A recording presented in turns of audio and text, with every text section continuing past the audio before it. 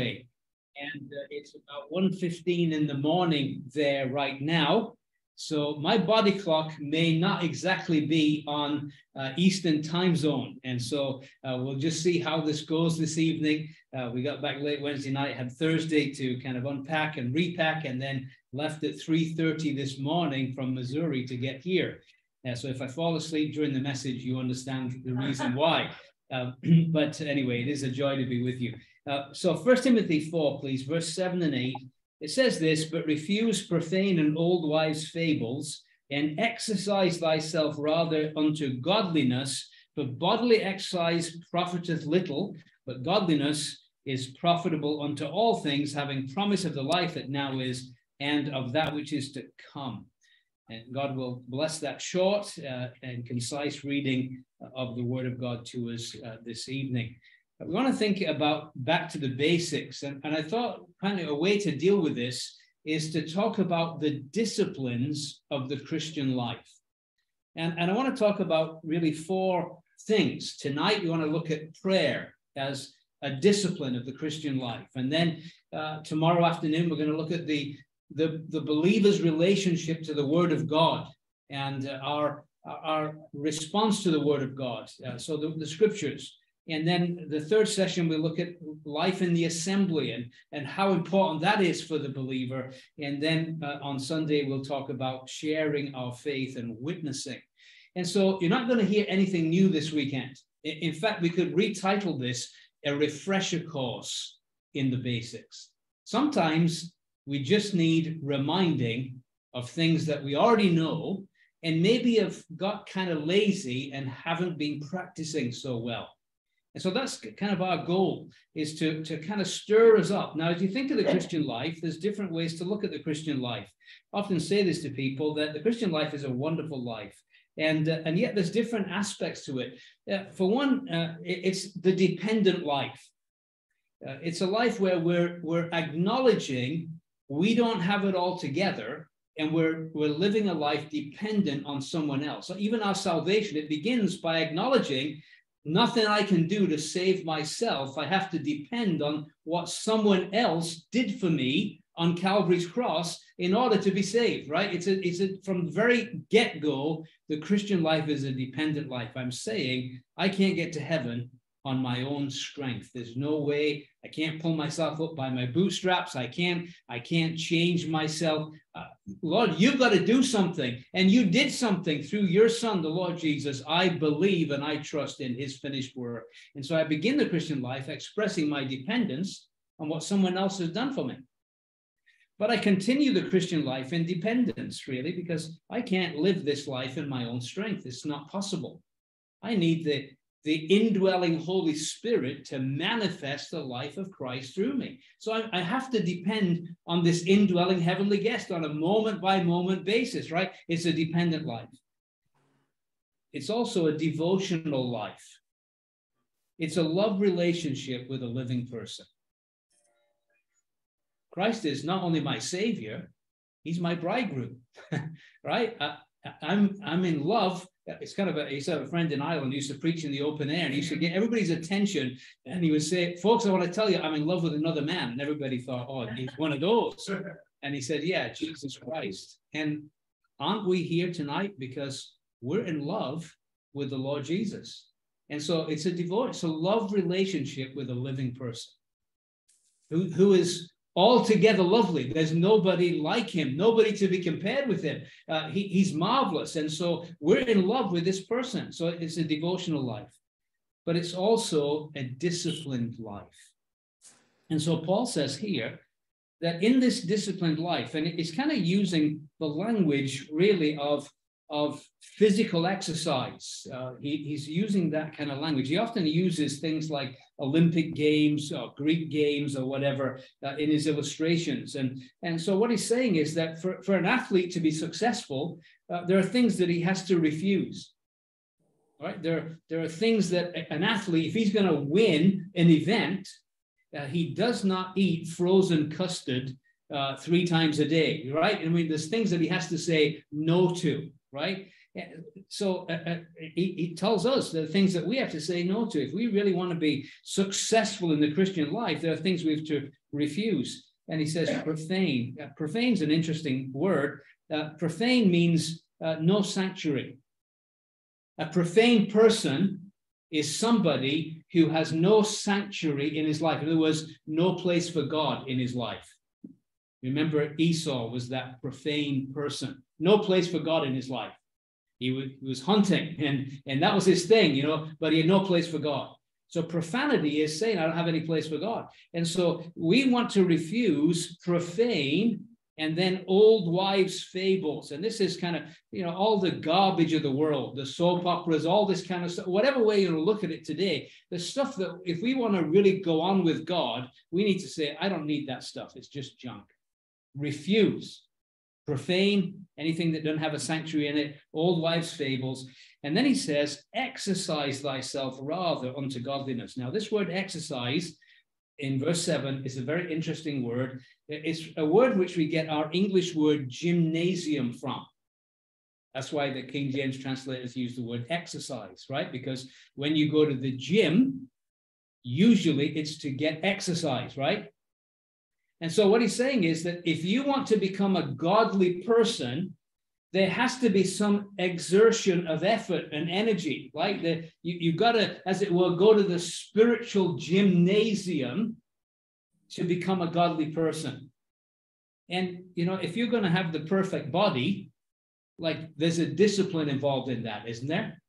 Like uh, I don't go to the gym very often. It's very obvious. You can see that by looking at me. But but people that do, you can tell. I was there was a guy on the flight today, and his muscles. I don't know what he did, but by this guy obviously is you know kind of doing his exercises. He really was, and he looked like a bit like Mr. Universe. And of course, he's wearing a kind of a little uh, kind of uh, vesty thing because he wants everybody to see how magnificent he looks.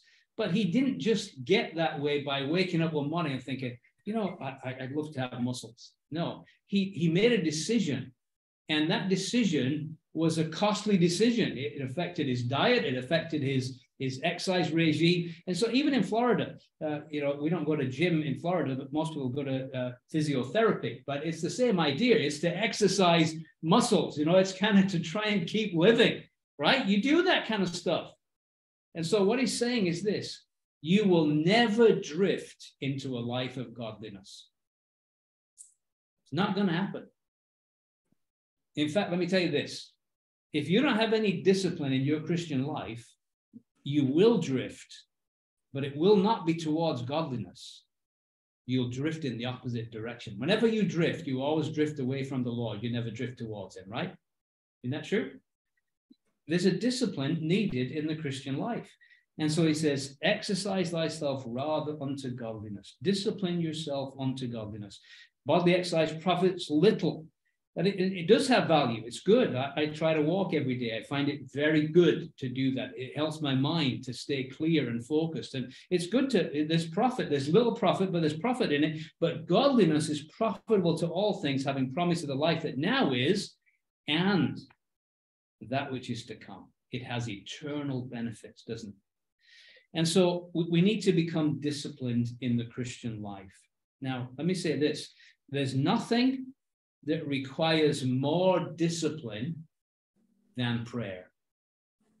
It really does take concentration of mind and will to be a person of prayer.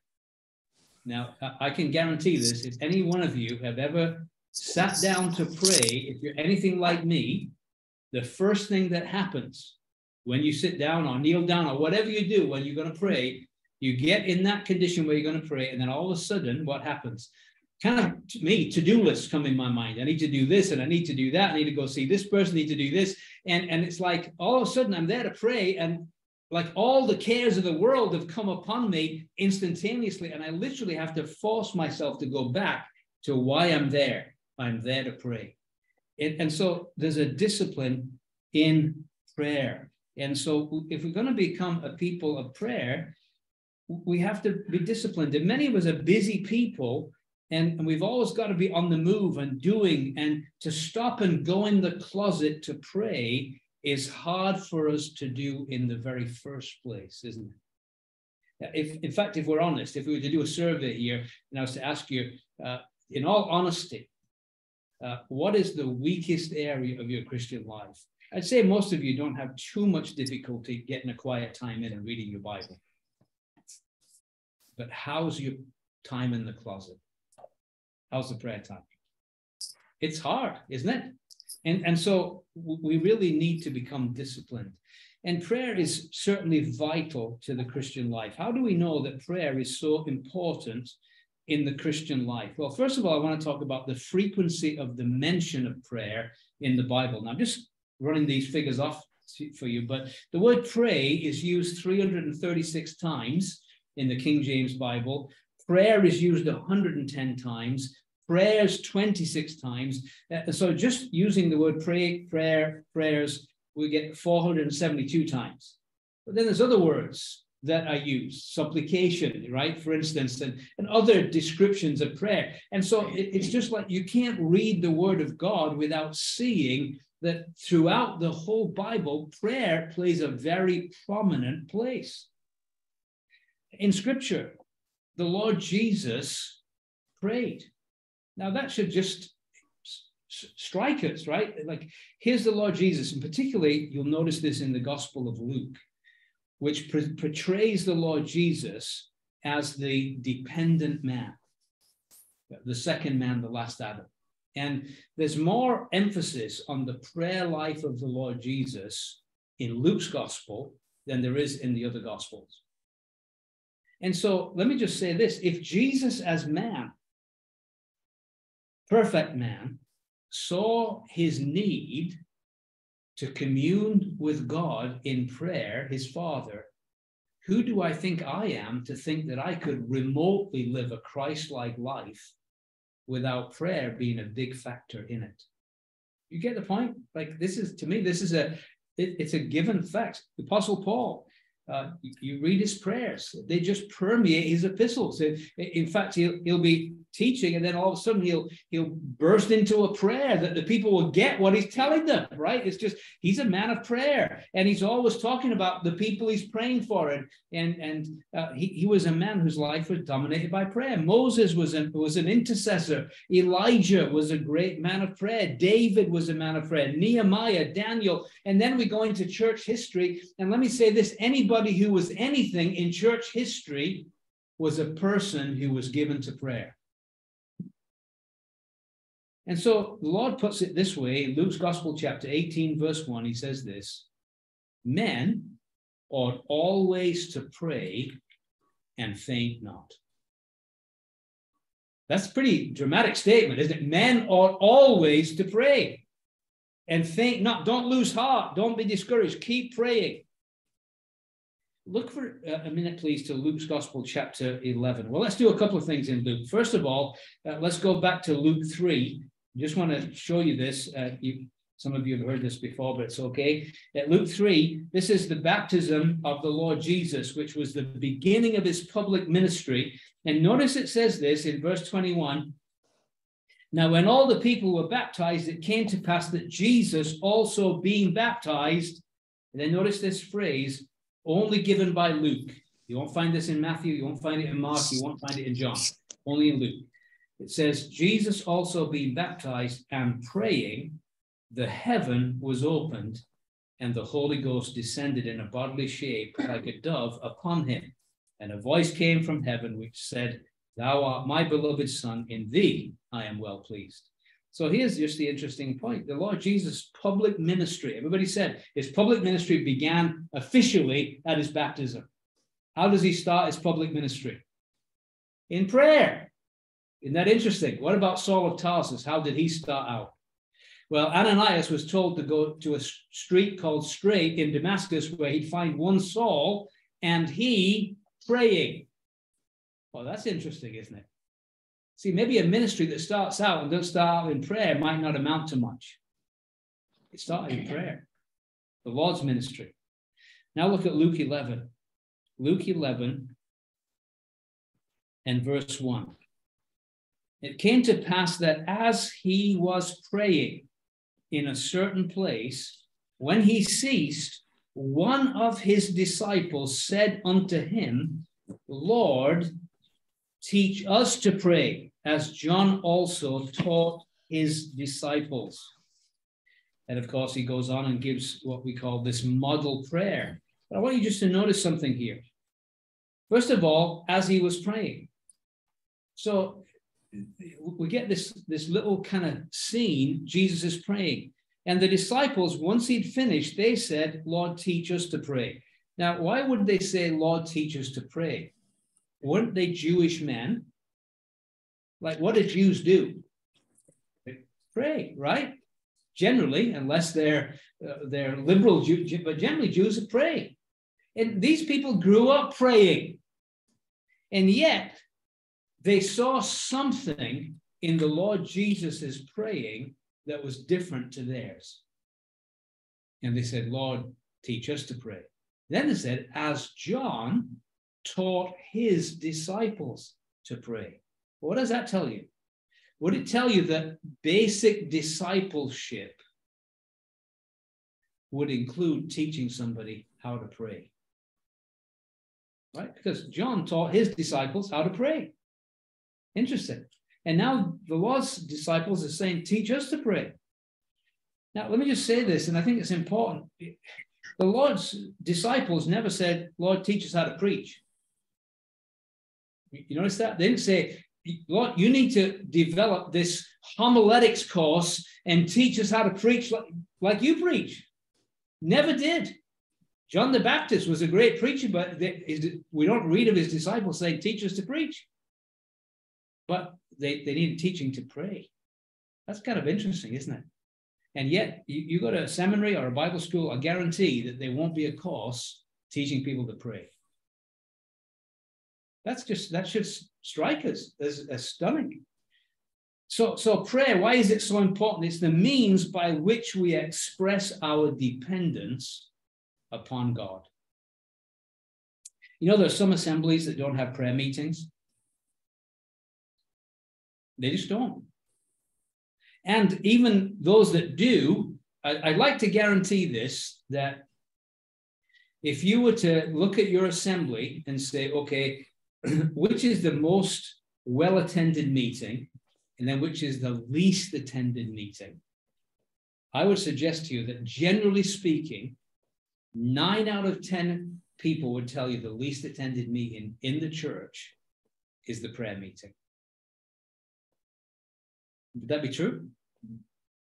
What is that saying? You see, if prayer is the means by which we express our dependence on God, our lack of praying is saying, God, we can do this thing without you. We got it covered, Lord. We don't see we're Americans. You see, we we Americans, you know, we're the kind of, you know, we we took this wilderness and we made it into something, and we're we're self-made men, and we we can do this Christian thing, God. We don't need your help. Now I know you'd never say that, but we're voting with our feet. We're saying we can do this. And we've got it covered, Lord. Don't worry. And yet we're getting what we're voting for powerless Christianity. Because we're depending on ourselves and we're getting what self can produce, and what self can produce is not worth producing. It's not much. And, and so prayer is, is how we express our dependence on God. Prayer is how we communicate with Him. He communicates to us through His Word, but we communicate to Him in prayer. And communication is vital to any relationship. He speaks to us in His Word, we speak to Him in prayer. If I said to my wife, I love you, honey, but I don't speak to her from week to week, she might get the, the hint that there's something bogus about what I'm saying. I mean, if I don't want to talk to her, if I don't want to communicate with her, if I if I'm just happy not to say anything, she'd think this this guy loves me. Why don't he talk to me? Right? And, and so communication is, is vital to any relationship. In fact, our relationship began with prayer, didn't it? Whosoever calls upon the name of the Lord shall be saved. At one point, we said, Lord, save me. I mean, I hope he said that, right? At some point, there was this crying out to the Lord. That's how it all began, and it has to continue. And prayer is how we do that. Prayer is saying we can't do it ourselves. We need supernatural intervention from the God who is all powerful, who spoke the worlds into existence. And we're saying, Lord, I don't have this covered. I can't do this this weekend. I believe that. I believe the Lord doesn't come through this weekend. We're just going to waste the weekend if He doesn't bless. And, and prayer is vital. Uh, the, the apostles saw that, didn't they? They said, We will give ourselves continually to prayer and the ministry of the word. Acts 6 4. Very critical verses. Many of us, I think, could say, and we've said it before in, in times past, many of us could say that honestly, we've given ourselves to the ministry of the word. But few of us could really say that we have given ourselves to the same extent to prayer and the ministry of the word. And I believe if if we'd have given ourselves more to prayer and the ministry of the word, in other words, we spent as much time in the closet as we did in the study, we would see different results through the preaching of the word of God. Much more effective. So I want to think about private prayer to begin with, and we'll get on to corporate prayer. But I want us to go back to the book of Psalms. Uh, lots of beautiful prayers in the Psalms. Uh, and Psalm 55 and I just want you to see something of David, the sweet psalmist of Israel, and his discipline. Remember, we're talking about disciplines of the Christian life. And this is what he says Psalm 55 and verse 17. He says, er, Evening and morning and at noon will I pray and cry aloud, and he shall hear my voice. So we see something of a, a kind of a habit in David's life. He, he prayed three times a day. Now he starts with evening because the Jewish day starts evening, doesn't it? Evening and the morning were the first day. It always starts in the evening. So, so he starts his day in prayer in the evening, and then in the morning, and then at noon. So three times a day, he set aside specific times to pray. Daniel obviously followed the David model, didn't he? Do you remember Daniel when they tried to find something uh, wrong with Daniel's life and they said, We're only going to get him about something concerning his God? And so they said that made this rule that you could only ask the king. You couldn't ask any any uh, any god or anybody else but the king for a petition. And and Daniel, well, he just did what he always did three times a day. He opened the window towards Jerusalem and he prayed and there was a discipline. There was there was a, a set time, uh, and, and so it's good sometimes to to have set times that we set aside. If you don't, I find if I don't put things in my calendar, they don't happen. Right? We, we need to have set times when we we get into the closet and pray. And certainly David did this. And notice what he did. He says, "I'm not cry aloud." Uh, sometimes if you if you have problems kind of nodding off when you're praying, pray out loud. Cry aloud to God in prayer. That's okay. It's legitimate. I do all kinds of weird things in prayer, just because I want it. I want it to be effective, and so sometimes I'll walk around the room and pray, and sometimes I'll I'll raise my hand. Don't get worried. I'm not going charismatic or anything like that. But I just I I I I love that posture. It's like Lord, I don't have anything. I have no bargaining chips. You have everything. I've got nothing. I need your help. And so I, I don't mind doing these things if it if it helps. It's what works, right? I want to have a prayer life that's effective, and I want something that's going to be going to work. And so David, he cried aloud, and and what an assurance! Evening and morning at noon will I cry, will I pray and cry aloud. And and David knew this. He shall hear my voice. Now, I don't have to cry aloud because Lord is defective in hearing. But he knew God delights to hear the cries of his children. And, and he answers prayer. And so, also, it's very helpful um, in developing good habits in prayer. I, don't know about you, but everybody ever struggled with bad habits? Like habits are hard to break, can't they? Bad habits i used to have a terrible habit of biting my fingernails. It took a long time before i actually finally got free of biting my fingernails. But it was a it was a it was a habit i started when i was a kid and it was was really hard to break. Um, and so habits can be a, can be a good thing if they're a good habit, right? And so there, there are habits we should get into, and, and one of them is making a daily prayer list, spending a set time in prayer, having having a, a, regular time and even a regular place. It's good sometimes to have a place where you you retire to prayer. The Lord had His place, right? Who can tell me where it was? Where did like the Lord like to go to pray? The Garden of Gethsemane, right? That was a place where he often resorted thither to pray. He had a place, and, and it, often at nighttime he would go there. And so it's good to have a time and a place. It's good to have a, a list. I, I, find that helpful. I, I, like to pray a lot for different mission fields. And, and what I do is just to help me practically, I divide the world up in seven days. And so I, I just pray through the world. Actually, Friday, believe it or not, Canada is Friday. Uh, and so that's I pray for the Canadian brethren. They need a lot of prayer up there. Uh, and uh, and so Saturday I pray for Israel and the Jews because it's their holy day. Uh, and then Sunday I pray for assemblies. And uh, Monday is Europe. Uh, you know, Tuesday is Asia. Wednesday is Christian workers in North America. But I find that it, it just helps to have this kind of divide up the week in prayer. And go around the world in a week. It's wonderful, isn't it? I, I mean, I travel a lot. I cover the continent in a week, every week. Uh, but isn't it wonderful that you can speak to the one who sits on the throne of the universe and affect affairs all around the globe in prayer? And again, just good to get into these habits. Private prayer, though, is work. Let me show how Paul describes some of the experiences in prayer. Look at Colossians chapter 2. Colossians chapter 2,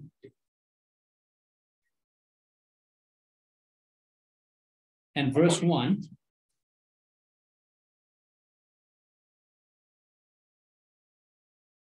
Now, Paul had never been to Colossae. Uh, it was started by Epaphroditus, the evangelist, and uh, Epaphras, should I say. And uh, so he'd never been there, never seen them. He heard about them. And he says, I would that you knew, verse, this is uh, Colossians 2, verse 1, what great conflict I have for you and for them at Laodicea, and for as many as have not seen my face in the flesh, that their hearts might be comforted, being knit together in love, so on and so forth. I want you to get this little word conflict. What great conflict. That great that word conflict there in the Greek language is, is a word agonia. You can you can get the meaning of that, right? In other words, he actually was agonizing over the state of the Christians in Colossae and Laodicea. Never seen them before. Now that's hard. I, I, I'll be honest with you, my global prayer list is mainly people I've met and I know. It's just so much easier for me when I know somebody. But Paul had never seen these guys before, and he's praying for them. And I find that amazing. And not only is he praying for them, he's agonizing over them. It's it's now we know so little of this kind of prayer, if we're really honest, where, where we actually agonize over people. I wonder if we'd see more happen if there was more of that earnest agonizing over souls. I remember, I've never forgotten it. I was in a prayer meeting in Northern Ireland, and it was during a gospel campaign. And some of these brethren in their starchy black suits, uh, you know, is, these are gospel hall, they're, they're very conservative brethren. And some of them were laying prostrate on the ground, agonizing over souls to be saved in this gospel campaign. I have never forgotten that. It's just burned in my memory. I, have not seen that in chapels. I'll be honest with you, I've never seen them. I wish I had, but what a sight.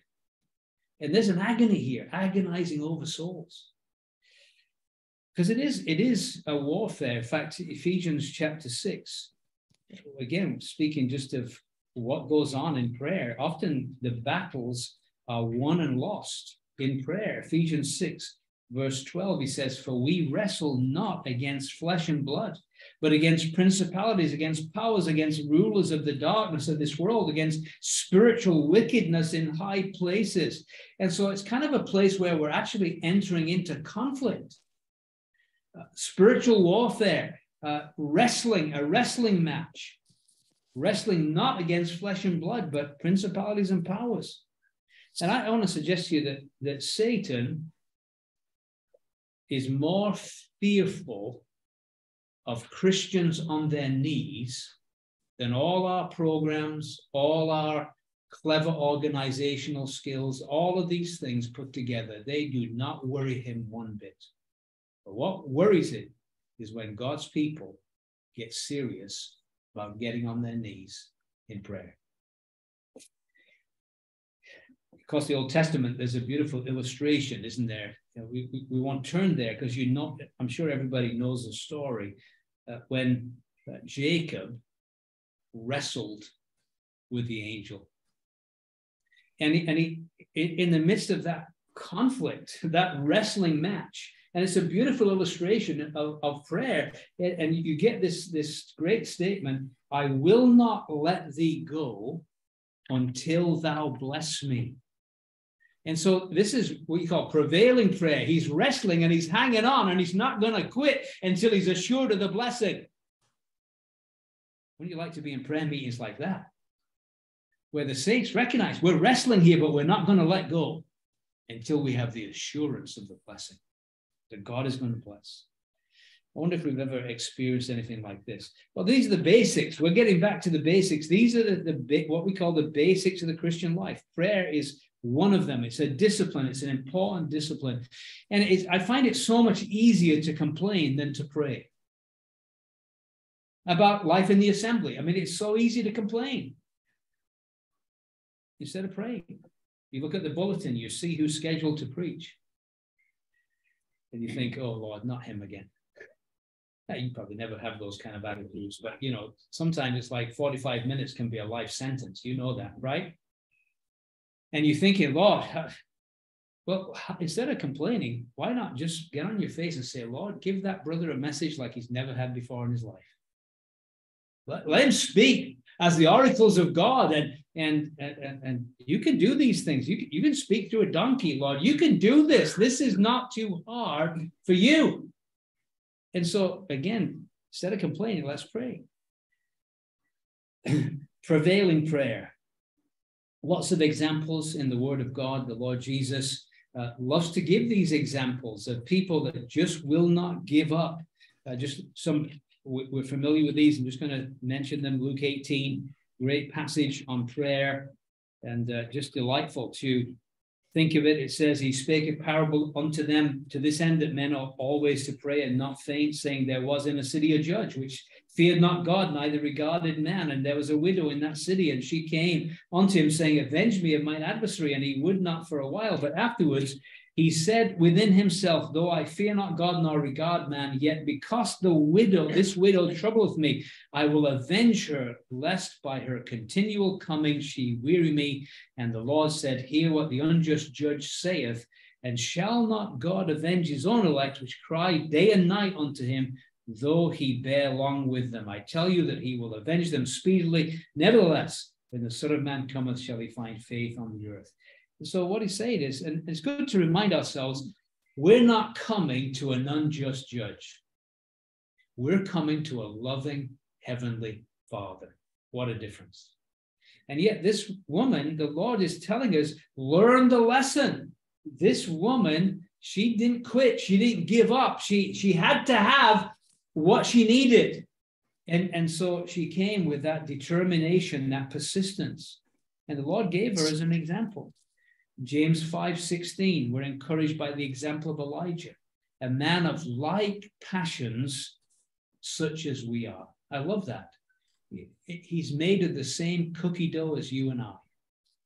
Just like you and me. He's not, sometimes we put these people on such a pedestal, and, and God is telling us, don't put him on a pedestal. He's just like you, has the same ups and downs. And you look at the life of Elijah, he had his downs, he had days that he was so depressed he wanted to die. Right? He he he went through the, the, the whole gamut of emotions. He's just like you and he's just like me. And yet, the law tells us the effectual, fervent prayer of a righteous man avails much. How much could be accomplished if we got serious about prayer? We're encouraged to joyful praying. Uh, Paul, uh, a great example of joyful praying. Uh, Philippians chapter 1 and verse 4. And again, isn't it a joy to just think that I can speak uh, to my heavenly Father, enter into the holiest of all at any time, the merits of the Savior? Uh, and so uh, Philippians 1 4, he says, Always in every prayer of mine for you all, making request with joy. And it is a joy, isn't it? To you know, as I pray for different ones that I've come to love and appreciate, First of all, it's just it's a joy to think of them personally as I bring them before the Lord. It just it brings back happy memories to think of these dear saints and then to bring them into the presence of God, knowing that He loves them more than I could ever love them, and to bring my request. What a joy it is! And there is a joy in prayer. There's a joy because there's always a joy in obedience as well. We know we're doing the right thing. James says a very staggering thing, though, in James chapter 4 and verses 2 and hmm. 3.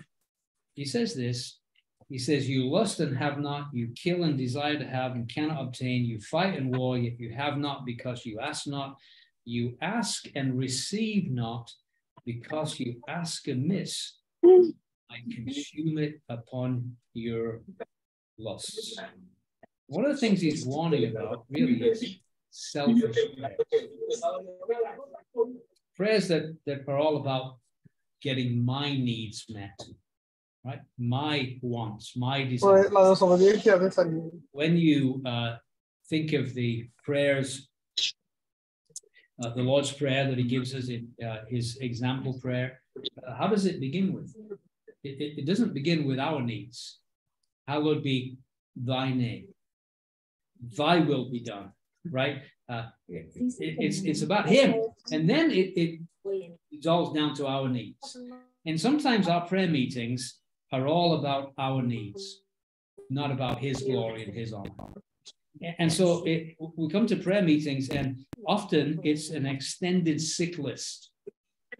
And what we're praying is, Lord, whatever you do, don't let these people go to heaven right? I mean, they, they might be 99, you know, and barely existing. And we're saying, oh, Lord, please keep sister. Come on, let it go. I mean, one second after she dies, she's going to think, why were they praying for me? This is better than anything, right? Be with Christ is what? That's power train. Far better. And we spend all our time trying to keep Christians out of heaven. Instead of praying, en suero le dicen ah, Colombia. Again, if somebody says, go to their bedside and, and hold their hand and pray, unless they've got COVID, then you don't do that. You do it over the phone. But but but you know get the idea. Yo nunca supe eso. Pray with them. This is this is. A mí me encanta, porque yo no sabía que. As we come together as an assembly. Que decía que se llamaba. Let's let's really cry out to God for people who will not. Y saber bueno con, con arepa. Uf, Somebody's chatting away here. Helen on her iPhone 11. Oh. That would help us. My sister praying. Yeah. Okay. anyway, so uh, it wasn't All bothering right. me. I just didn't know whether it was bothering you hearing that chatter there when we when private prayer, just a helpful formula that somebody shared with me many years ago is the the what we call the Acts formula, A C T S, like the Book of Acts.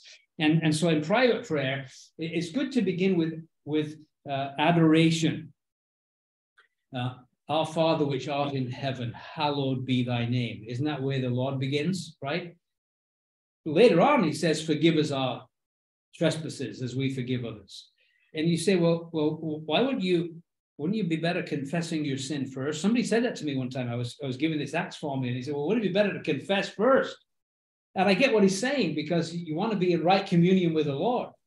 But the, the bottom line is that as you come into the presence of God and you realize who He is and how how marvelous He is and how glorious He is, you might find you have more things to confess if you begin with adoration, right? You're getting a right view of Him and then you get a right view of yourself. So begin with adoration, then you go to confession.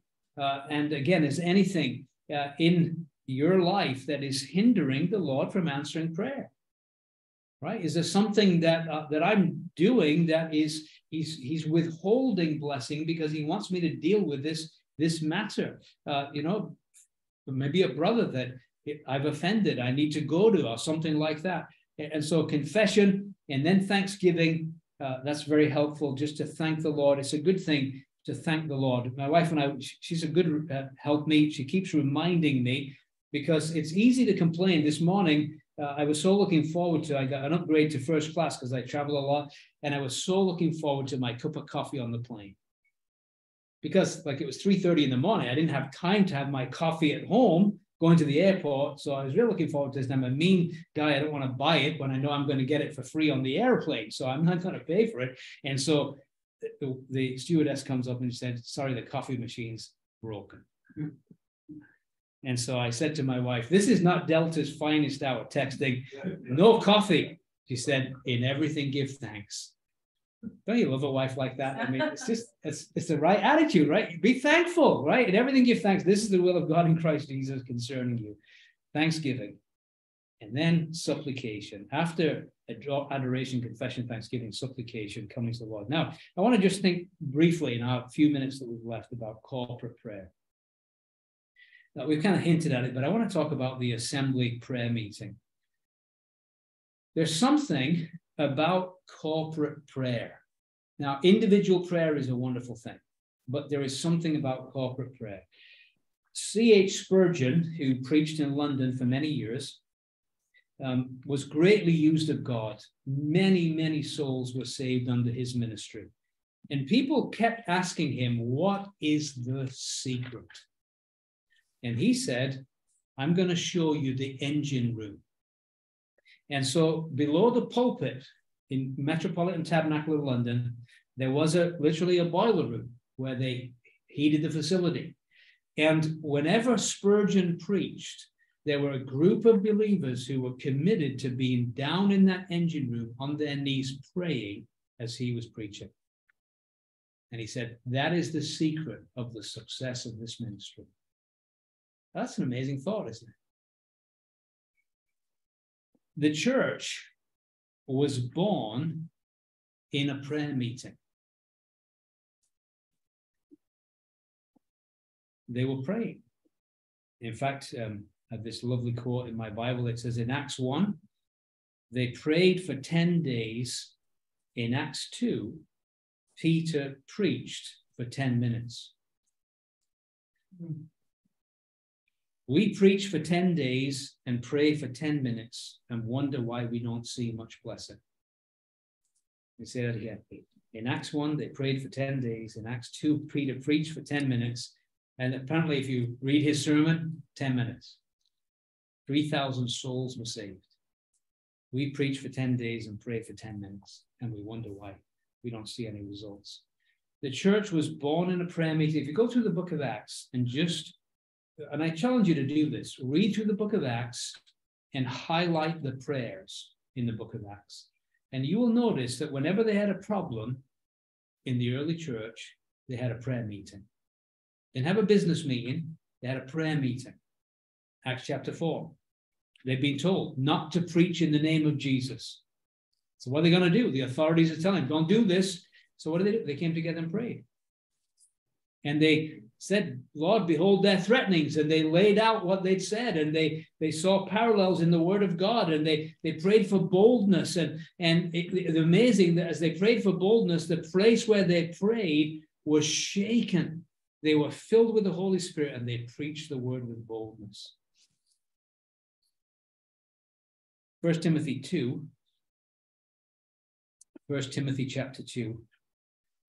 Now, this may offend people, and I don't want to offend anybody, but it's just interesting to me that in First Timothy chapter 2, Paul says this I exhort, therefore, that first of all, supplications, prayers, intercessions, giving of thanks be made for all men, for kings and for all that are in authority, that we may lead a quiet and peaceable life in all godliness and honesty. For this is good and acceptable in the sight of God our Savior who will have all men to be saved and come to the knowledge of the truth, so on and so forth. Let me just say this. I, I just think it's an important thing that when you look at First Timothy 2, when he says that first of all, I exhort therefore that first of all, this is a book that deals with behavior in the house of God. First Timothy 3:15, that you may know that how you ought to behave yourself in the house of God, with the church of the living God, pillar and ground of the truth. And what he says here, first of all, or first importance. In First Timothy 2, he's describing the prayer meeting, the assembly prayer meeting, what we should be praying for, who should be doing the praying. And what he's saying is this that this meeting is of first importance. Now, we would say, you know, what is the chief meeting of the church? And there's books written on it, and we say it's the Lord's Supper, right? When you say that, the Lord's Supper, chief meeting of the church. The Lord asked us to do it. I, I have to say, now, I would never, ever minimize the importance of the Lord's Supper. I believe the prayer meeting is the most important meeting of the church because it affects every other meeting. In other words, if we come to the prayer meeting and our Lord's Supper can become kind of stale a bit if we're not careful, right? I mean, you know, sometimes you can even say the prayers for some of the guys that pray because it's become a bit stale. But we can come at the prayer meeting and say, Lord, would you somehow fine tune the orchestra so that just a tremendous, uh, just praise just ascends to your very presence? We could pray that, and the Lord can do that and, and so it can affect the gospel meeting, it can affect the ministry meeting. Prayer can affect every meeting. And Paul says it is first importance. And yet we don't see it as first importance. First of all, supplication, prayers, intercession. In fact, didn't the Lord Jesus say that, that my Father's house shall be a house of what? Prayer for all nations. And that's what we see here. Now, what's interesting as well is that he wants the men to be the ones who pray. Because in verse 8, he says, I will therefore that men, the men pray everywhere, that men pray everywhere. Now, all the way through, he's got men in this chapter, but the other words are always um, the word anthropos, which is mankind in general. So, for instance, he, he talks about prayers, uh, supplication, prayers, intercession, giving of thanks be made for all men, for all mankind. In other words, uh, it, it, who will have all men, verse 4, to be saved, not gender specific. God wants men to be saved, women to be saved, uh, both genders. Okay, be, be clear of that. The two genders, the only two genders, that they be saved. Okay?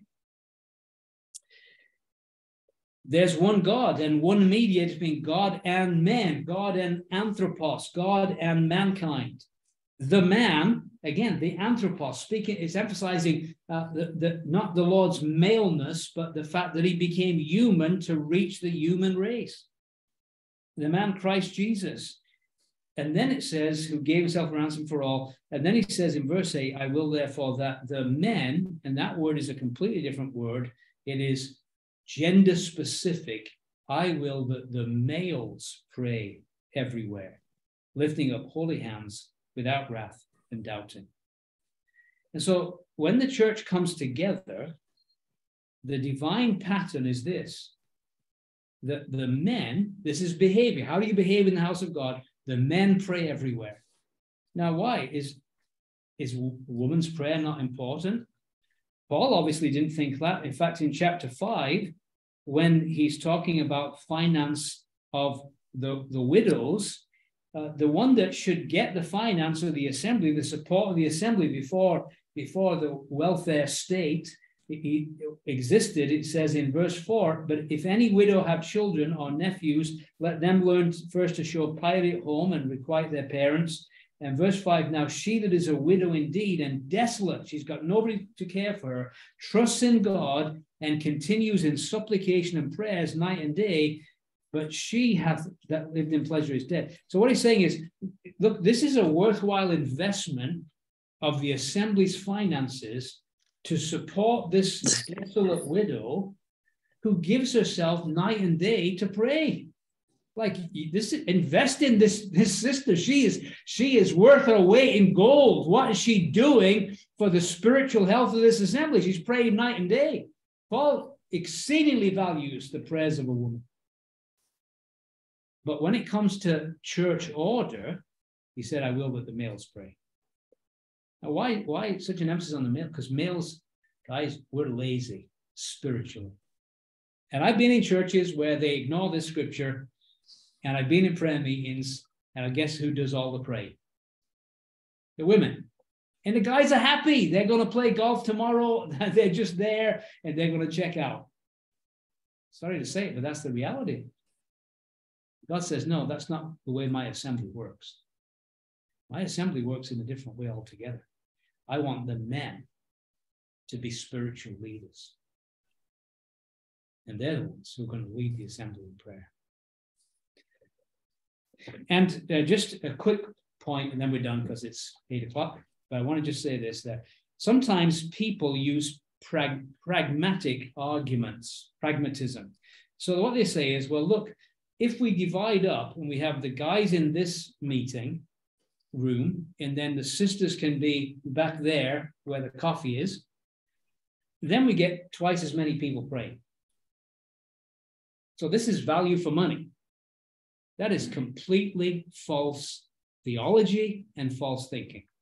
Let me tell you why. Because in the assembly, when I pray, like I'm going to pray at the end of this meeting, I'm not going to pray as an individual. I'm going to pray as a representative of the whole. So I'm not going to be praying I, me, my, and myself, but we, us, our, right? And as I'm praying, hopefully you're going to pray along with me and you're going to say, Amen. Yes, so be it. Uh, that's exactly what we want to see. And, and then what happens is at the end of it, when you all add your amen, the whole assembly just prayed.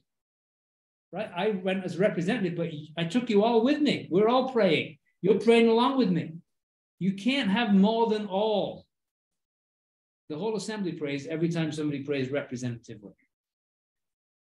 And so it's important we do that. I learned that the hard way. I was preaching in an assembly, and afterwards I was convicted during my own sermon that happens. Preachers have got saved during their own sermons. I don't know if you know that, but there's certain preachers actually got saved while they were preaching. And actually, people in the congregation recognized it. And, and one lady stood up and said, The parson just got saved. They could tell he got saved as he was preaching. Well, I was convicted this day. And at the end of the message, I was kind of confessing my con- conviction.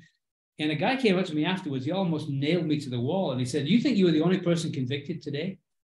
We were all convicted. You should have prayed for all of us, not just for yourself. And he said, when you pray, you pray representatively, not individually. I never forgot it. It was a good lesson, a lesson I needed to learn. So, what can we say? Disciplines of the Christian life, back to the basics, back to the basics, prayer. If there's any future for assembly testimony in North America, it will only occur if there's a revival in the prayer meeting. And that we become a people who are expressing continually our dependence on God because we can't do this ourselves. We've had years of trying and it doesn't work, it fails miserably. So, what are we going to do? maybe some of us need to make an adjustment to our lives and say, Lord, I've got, I've drifted. I used to pray more diligently. I used to be more faithful. I used to be more orderly in prayer. I used to be more, but but I've I've, I've kind of let things slip. It's a very dangerous thing to let things slip because you get into a slippy, slidey state. It's hard to stop. Maybe some of us need to recalibrate, readjust, get back to the discipline, exercise yourselves rather unto godliness, the discipline of prayer. May God help us. Let's pray. Our God and Father, we are so thankful for this marvelous privilege that we can come into the holiest of all, not because any of us deserve this, but because of the merits of thy dear beloved Son, the Lord Jesus and his precious blood that was shed for us at Calvary that gives us access to the throne room of the universe. And Father, we would come and ask that you would indeed Make us afresh a people of prayer, that we might be like thy Son, the Lord Jesus, who was indeed, although verily God, was also that dependent man.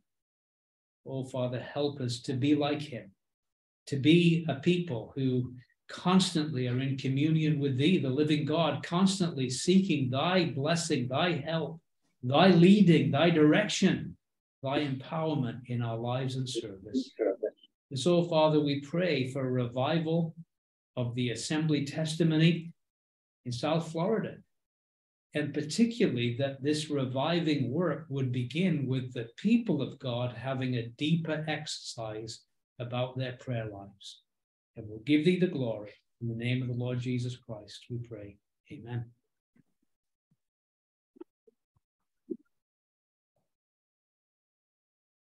Thank you so much, brother. I just want to make a quick announcement, only for the people who are here. Uh, there's coffee and uh, cake at the back. Thank you so much for coming this eve, coming out this evening, accepting our invitation. Tomorrow we start at 3:30. We'll go from 3:30 to 4:30, and we'll have some light supper. we'll have some chili, right? Chilies or chili, chili, chili. and um, uh, at six o'clock, we will start our second meeting. Um, and then, of course, Sunday we'll have the 11 o'clock meeting. Brother Mike would be with us. Coffee and cake outside. One more thing tomorrow, you don't have to listen to me singing. We'll have the uh, youth from the Indian Assembly leading us in songs. So, thank you so much for that.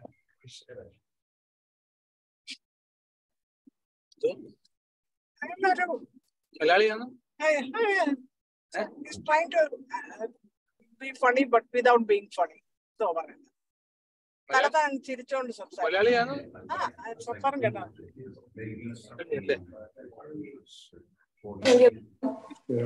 Mini you are muted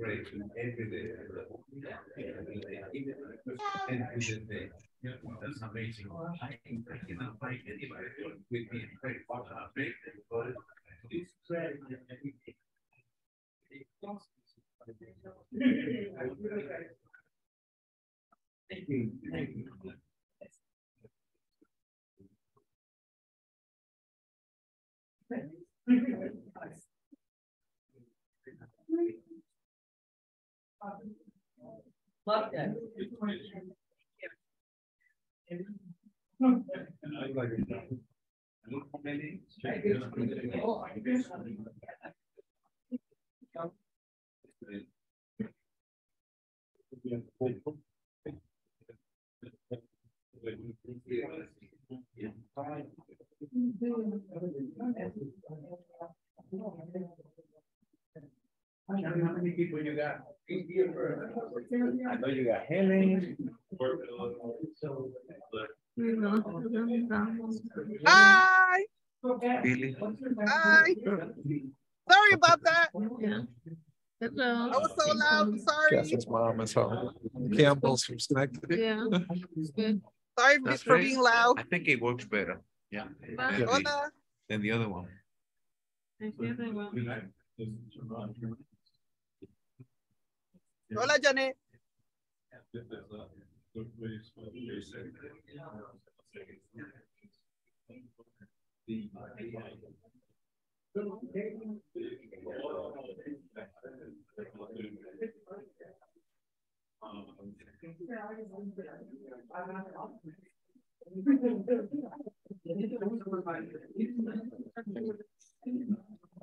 Oh, that's the, uh, super. This is kind of like a contract.